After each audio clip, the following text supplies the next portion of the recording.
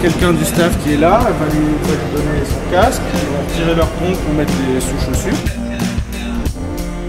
Les télé ici en fait vont, euh, vont retransmettre en live ce que la personne voit dans le casque.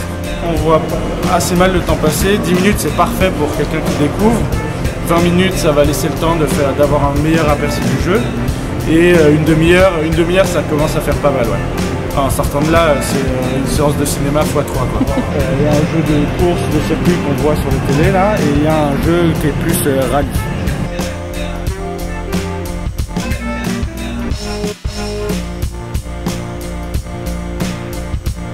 au fond un petit espace bar euh, sans alcool. Un, on n'a pas les licences pour, et deux, on se disait que la vente d'alcool n'était pas forcément en adéquation avec ce qu'on propose ici.